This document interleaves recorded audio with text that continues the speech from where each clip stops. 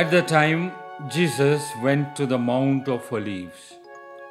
Early in the morning, he came again to the temple.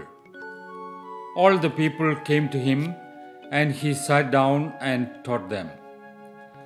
The scribes and the Pharisees brought a woman who had been caught in adultery. And placing her in the midst, they said to him, Teacher, this woman has been caught in the act of adultery. Now, in the law, Moses commanded us to stone such women. So, what do you say? This they said to test him, that they might have some charge to bring against him. Jesus bent down and wrote with his finger on the ground. And as they continued to ask him, he stood up and said to them, Let him who is without sin among you be the first to throw a stone at her. And once more he bent down and wrote on the ground.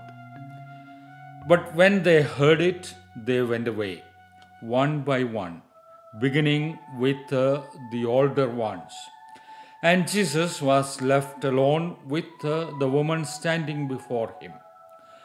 Jesus stood up and said to her, Woman, where are they? Has no one condemned you? She said, No one, Lord. And Jesus said, Neither do I condemn you. Go, and from now on, sin no more. The Gospel of the Lord.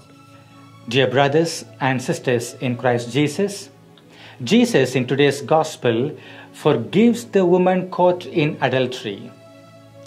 Asking the onlookers to throw a stone at her if they have not sinned, Jesus indirectly questions the intention of the accusers. Jesus' line of argument seems to be that if this woman was caught in the act of adultery, what about the man who had involved in the act of adultery with her? It is astonishing to see everyone who came to stone her to death drops down the stones, beginning with the eldest. In this way, we can say that the elderly people were the first persons to recognize the mercy of God. In our life, too, in one way or other, we have been touched by the mercy of God. The question that we need to ask is that do we experience the loving mercy of our God in all that we do? If we experience His loving mercy, then do we translate them in our actions? Do we in turn forgive the wrongdoings of our brothers and sisters?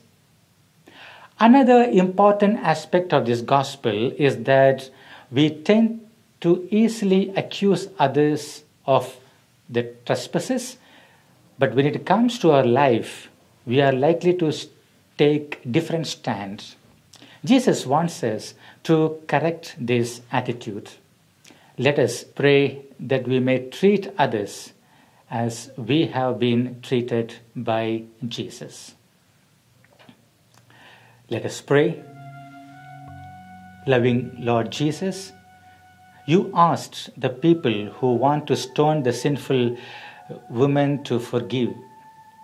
We ask you pardon for the times we have not taken effort to forgive the people who offend us.